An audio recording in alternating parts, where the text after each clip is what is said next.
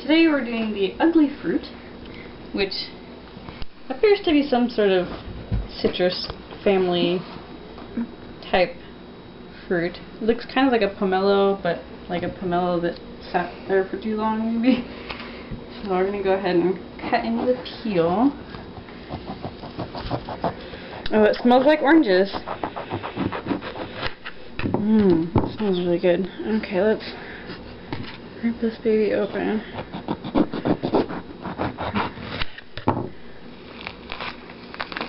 Yeah, it's like a big orange. Big, big stupid orange. That's extra pith. I think this is one step closer to pomelo from orange.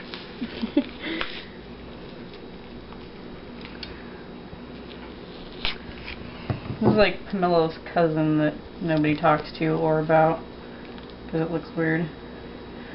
Alright. Not that pomelos look great.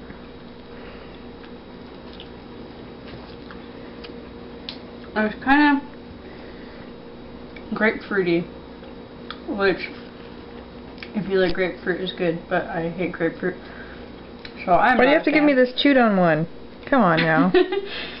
Alright, eat your own fresh piece don't wanna fruit. don't wanna be all baby birding it over here.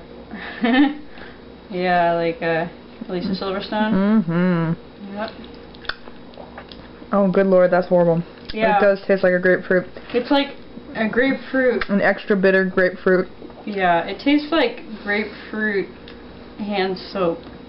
Yeah, it, Taste. well, yeah, it sure does. Emphasis on the soap. Alright, let's see if Kermit Uh, wants it. Oh, Kermit. Come here.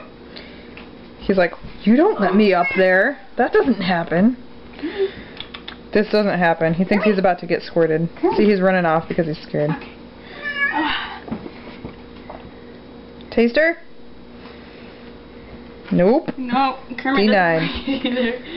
Alright. Alright, so coming up we have some kumquats, guava, and passion fruit. So subscribe to our channel to see our other videos.